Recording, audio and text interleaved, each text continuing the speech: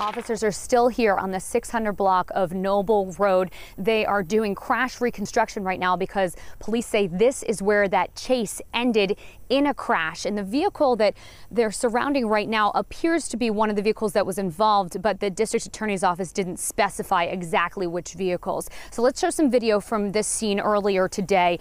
The DA's office says this all started around 1 o'clock this afternoon on Maple Shade Road as sheriff's deputies were trying to serve a felony warrant on a 26 year old man.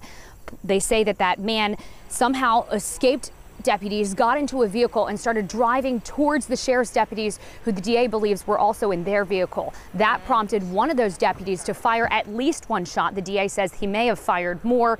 Now, no one was hit, no one was hurt, but the chase then continued for about four miles on 896 and again ended here. It was a low speed chase, according to the DA's office, and it ended here on the 600 block of Noble Road. And coming back out here alive, we do have some, looks like tow trucks are coming out here to pick up these vehicles right now, but police were able to arrest the man who was driving. Again, it was a 26 year old man from Gap. Police didn't say what that warrant he was wanted for was for. Here comes those tow trucks by us now.